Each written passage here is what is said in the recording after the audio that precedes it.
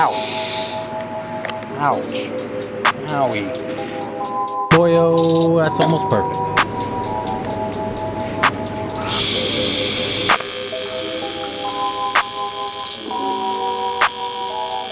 Lock it, lock it,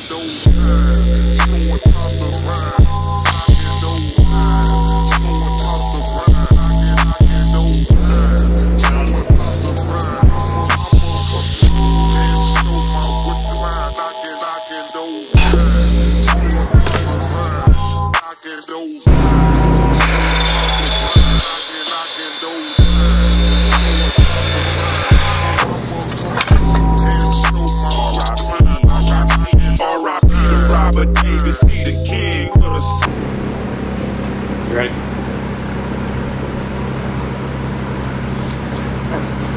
I better have some sweet music going over it too. Just tell me the song.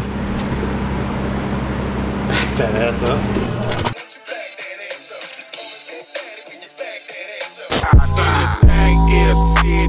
Shut your fucking mouth. I'm down with Lil Flip and I'm down with TIP.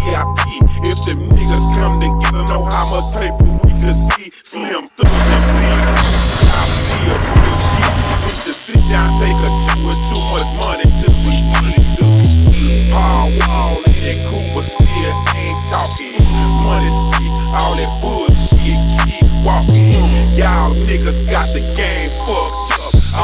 All you people need to shut the fuck up. Fuck up. Cause y'all keeping up that bullshit rapping. And white people laughing at us.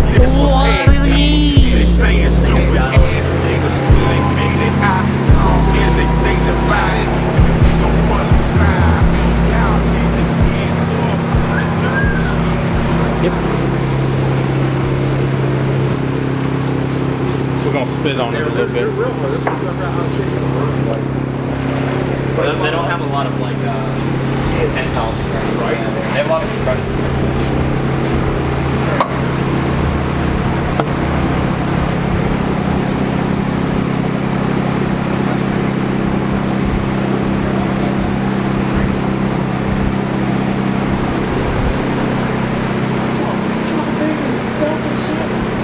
You gonna go for a ride this one when it's down?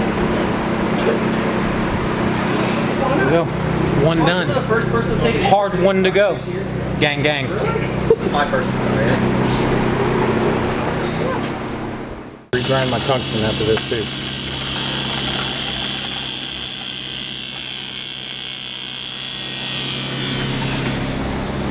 Alrighty, Zach. See, let's hear what's going on. Uh, intercooler piping. I'm really tired. Can you tell? Yeah, It's been really long. It's only Monday, right? It's only I- Monday, I which like- means I got Four four days. days. Yeah. Well, let's go take a look at the car. We'll see how far away we are.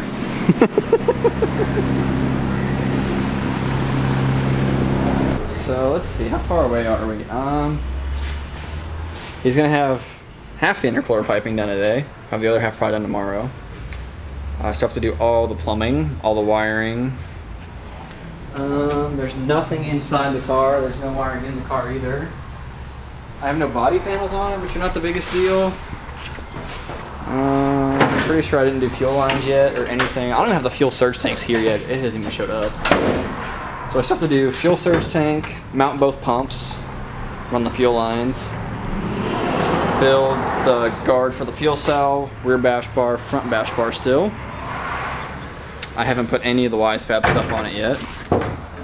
Um, I should probably actually make it run and like, you know, put oil in it and stuff too. I got a lot to do. Like, at this point, a lot of the fun day stuff has been held up by parts or like people's availability to do certain jobs. Like, everything's been done in-house except for the intercooler piping, obviously, and then the bending. I had to come over here and bend the pipes, or we'll have Ernest bend the tubes, and then I had to take them back and fit them and weld them. So that kind of delayed everything. So fun day, not looking all that promising, but we'll see. good luck.